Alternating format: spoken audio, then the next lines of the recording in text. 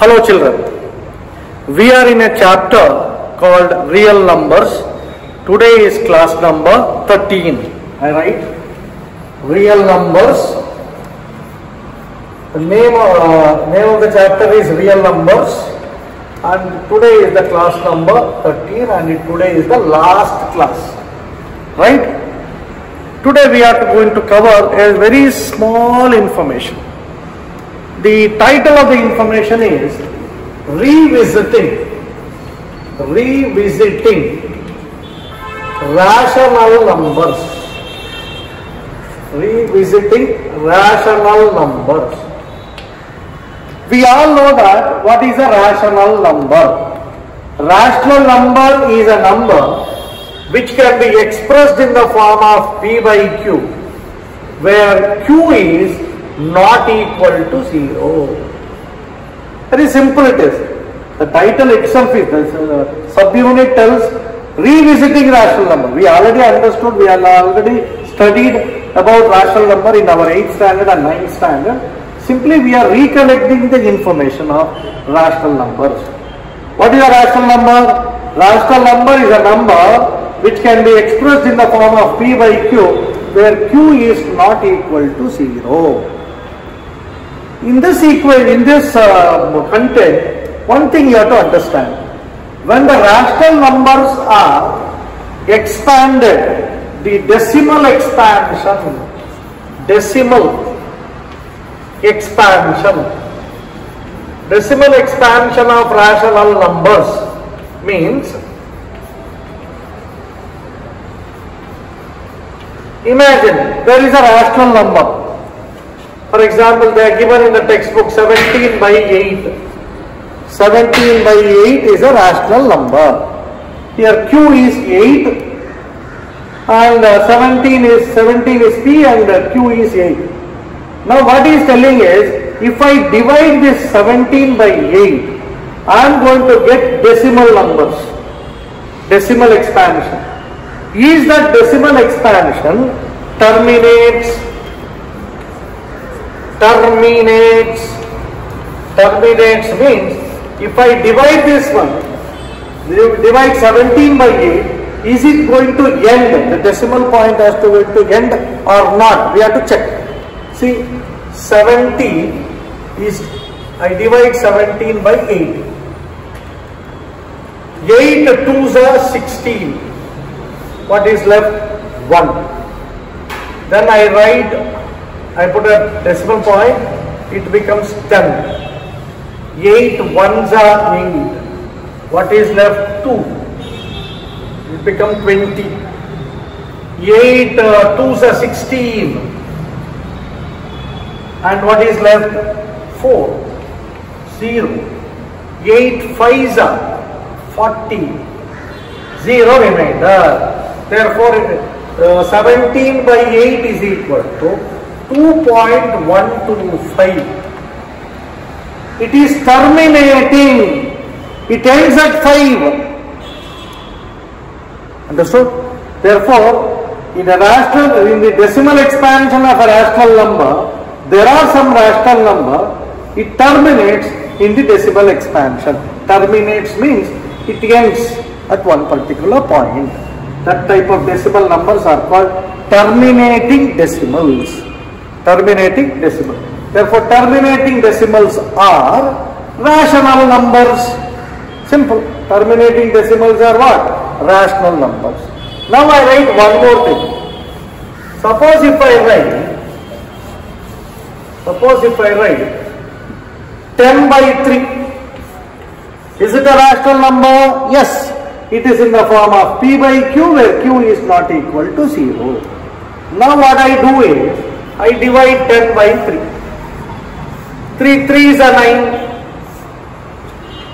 1 remainder because I, I, I am in the decimal expansion. And uh, 0, 3 3s are 9. 1 remainder 0. 3 3s are 9. 1 remainder 0. 3 3s are 9. 1 remainder 0. Now if I continue this one, it continuously it is we are getting the same number 3 3 3 3 3 3 3 3 3 Therefore, it is called non-terminating. Non-terminating. Non-terminating decimal it is. Non-terminating decimal. But here the numbers are repeating. Numbers are what? Repeating or recurring. Numbers are repeating or recurring. Therefore, see children, whenever a rational number is expanded for its in its decimal form, we get two different types of decimals. Either decimals are terminating decimals or decimals are non-terminating repeating decimals. There are two ways to expand a rational numbers. The one is terminating decimal, another one is non-terminating repeating decimal. Now I write and show to you how this decimal expansion works. See here. We have two types of numbers. One is called rational numbers. One is called rational number. Very simple it is. One is called rational numbers. Another one is called irrational numbers. When these numbers are in their decimal expansion, decimal expansion, decimal expansion means we convert these numbers into in the form of uh, decimals. In the decimal expansion, what happens? If it is a rational numbers, we get two categories. The first category is the rational number which gives you a terminating decimal. Terminating, terminating, terminating decimal. A rational number can give a decimal expansion as a terminating decimal or non-terminating, non-terminating, non-terminating but repeating, non-terminating, repeating, non-terminating, repeating. Repeating is also called recurring, re recurring. Again and again same number coming, recurring decimal. Therefore, how to understand a rational number in its decimal form? If a decimal form is terminating, it is rational. If decimal form is non-terminating but repeating, it is also rational number. Suppose, then how to identify an irrational number? Irrational number, it is expanded decimally. What happens? The decimal expansion of irrational number is non-terminating non-terminating, non-terminating, non-repeating, non-repeating, non-repeating or non-recurring uh, decimal. Therefore, it is not very simple. It is. There are three types of decimal expansion: terminating decimal, non-terminating repeating decimal, non-terminating non-repeating decimal. Terminating decimal means rational. Non-terminating repeating means rational. Non-terminating non-repeating decimal means irrational. Rational means terminating. Rational means non-terminating repeating. Suppose non-terminating non-repeating means it is irrational. That is the idea of decimal expansion of rational numbers and irrational numbers. But in this unit we are finding only rational numbers. I already told you in decimal expansion there are three types of numbers. A terminating decimal, a non-terminating decimal with repeating points and non-terminating and non-repeating. Non-terminating and non-repeating means it, it is irrational. If it is terminating, rational. If it is non-terminating and repeating, it, then also it is rational. There are three numbers. Now see, in the exercise they are given three numbers. Seeing this number, you have to tell, seeing this decimal expansion, you have to tell, is this number is rational or irrational? Very simple. 43.123456789 ended. Therefore, it is a terminating decimal. Terminating decimal. Terminating decimal means terminating decimal means it ends at 9. There is no dot here. There is no continuation here. It is a terminating decimal. Terminating decimal means it is a rational number. It is a rational number. In all decimal expansion of the rational numbers, if you get terminating decimal, then it is a rational number, right? Now come here. Here what happened? 0.1201120001. See, see this number. This is not repeating. 2001 is repeating, but it is not, the numbers are not repeating. Sometimes more zeros are, see here 2000 is there, 20,000 is there, here 200 is there, 20 is there. The, the numbers are not repeating the same numbers. Different, different, different number coming and it is on continuation. Therefore, it is non-terminating, non-terminating, terminating, non-terminating, non-repeating, non-terminating and non-repeating. Try to understand. Non-terminating, non-repeating means irrational. If a decimal number is non-terminating, non-repeating means irrational. Very simple. If it is terminating, rational. Non-terminating, non-repeating means irrational. See here, third one. Decimal expansion 43.123456789 9 Dalton. Again, there is a bar here. Bar means the same numbers are repeating again. Therefore, it is non-terminating, right? Non-terminating, non-terminating, repeating. It is repeating the same values again and again. It is repeating 1, 2, 3, 4, 5, 6, 7, 8, 9, again 1, 2, 3, 4, 5. It is non-terminating, repeating. Non-terminating, repeating means rational. You have to understand three things. Non-terminating, repeating means rational.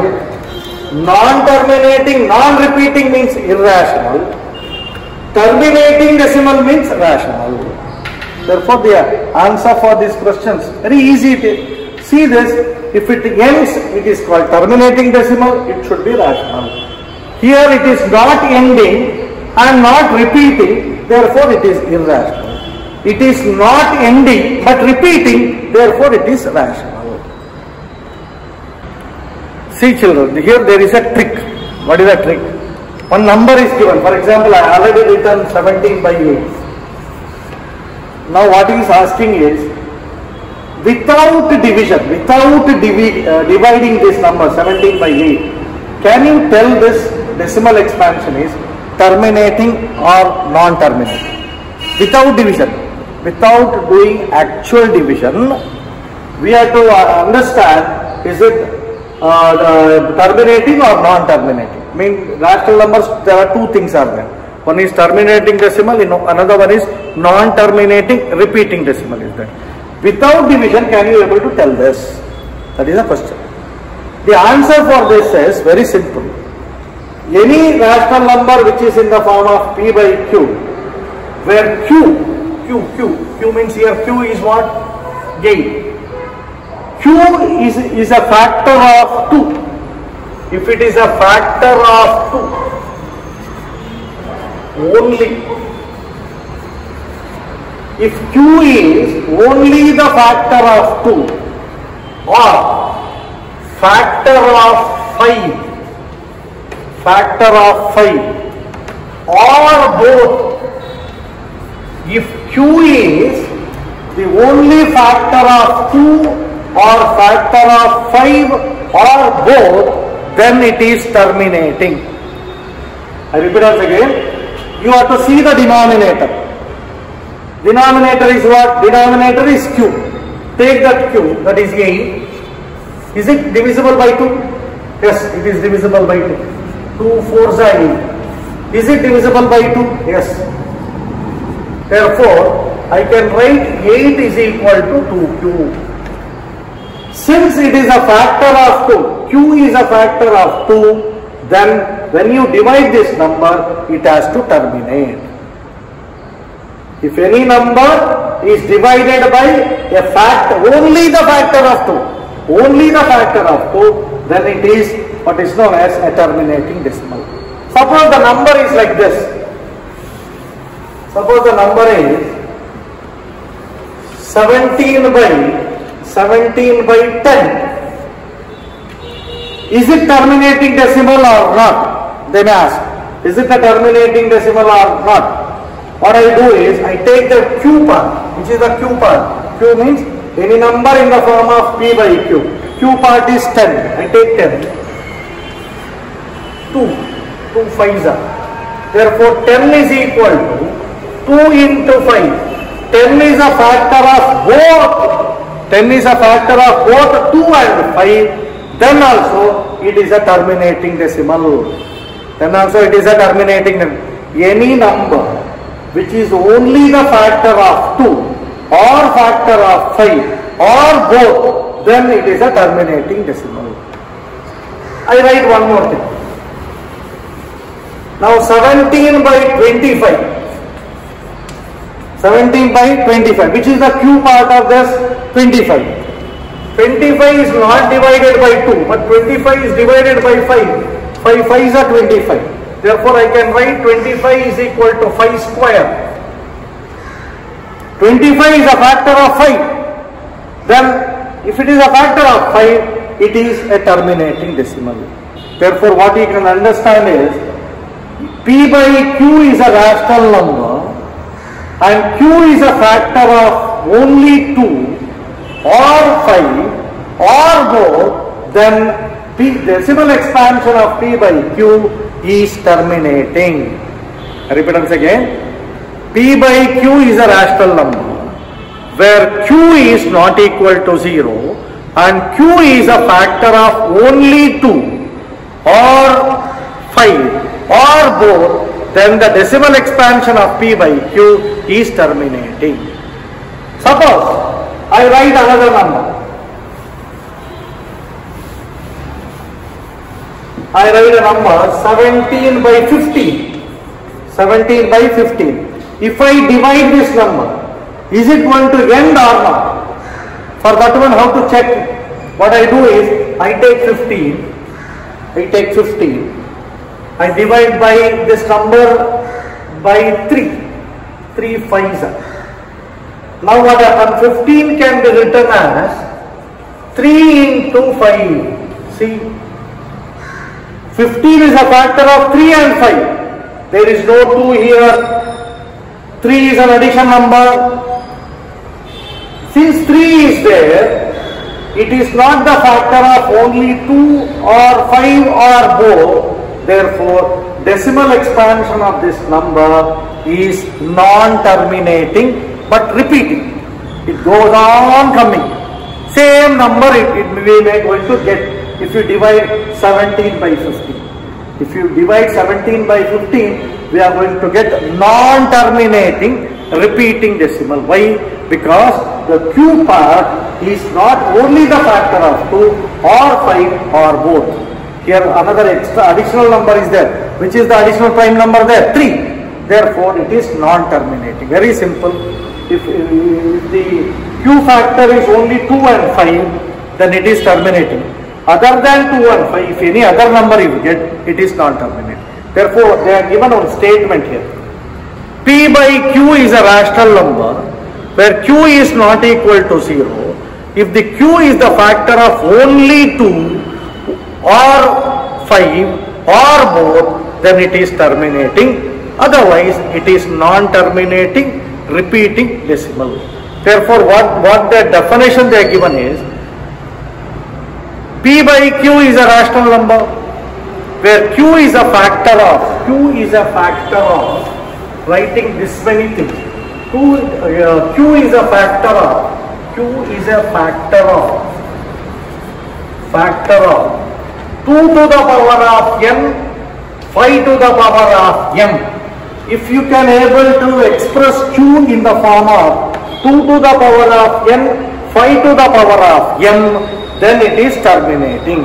Suppose q cannot be expressed in the uh, factor of 2 to the power of n and 5 to the power of m, then it is non-terminating repeating decimal. Little bit confusion. Try to understand. By seeing the problem, we can easily understand. By, by the definition, you may not be able to understand. But by see, by working out, you can easily understand. We solve some of the problems given in the textbook. The problem number one is like this. 13 divided by 3125. Very simple. 13 divided by 3125. He is asking, without actual division, can you tell this decimal expansion is terminating or non-terminating, repeating? You have to check. To check that one, what we have to do is, we have to take the denominator part. We have to take the denominator part. Denominator part is 3125. 3125. Now, I divide this number. This number is divided by 5. Prime number 5. 2 is not possible. 3 is not possible. I will divide by 5. 5 6 are 30. 12. 5 2s are 10. 5 5s are 25. Then again I divide by 5. 5 uh, 1s are 5. 5 2s are 10. 5 5s are 25. Again I divide by 5. 5 uh, 2s are uh, 10. 5 5s are 25. Again I divide by 5. 5 5s are 25. Therefore, 3 1 2 5 is equal to 1 2 3 4 5. 5 to the power of 5. Therefore, I can write this one as 3125 is equal to 2 to the power of 0. I can write anything to the power of 0 is equal to 1. 2 to the power of 0, 5 to the power of 5. 2 to the power of 0, 5 to the power of 5. Therefore, I express 3125 in the form of 2 to the power of n, 5 to the power of m. Therefore, decimal expansion of this number is terminating. It is going to end at one place. If any rational number q can be expressed in the form of 2 to the power of n, 2 to the power of 5 to the power of n, then I can say that that particular rational uh, number in the decimal expansion it terminates. We check the second second problem.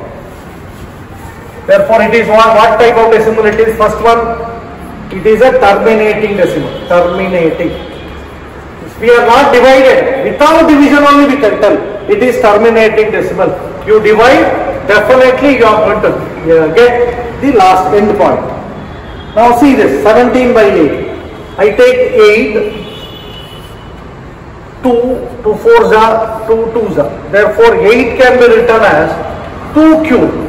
Since there is no 5, there is no 5, I write this 2 cube into 5 to the power of 0. Therefore, I express 8 in the form of 2 to the power of n, 5 to the power of m. Therefore, this decimal also terminating. This also what? Terminating.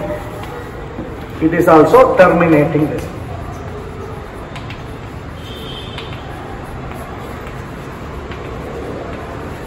Now he is given 64 by 455. I write it here. 64 by 64 divided by 455. Which is the Q part of this? 455. I write 455. This is divisible by 5. 5 nines are 45 and 5 ones are 91 is there.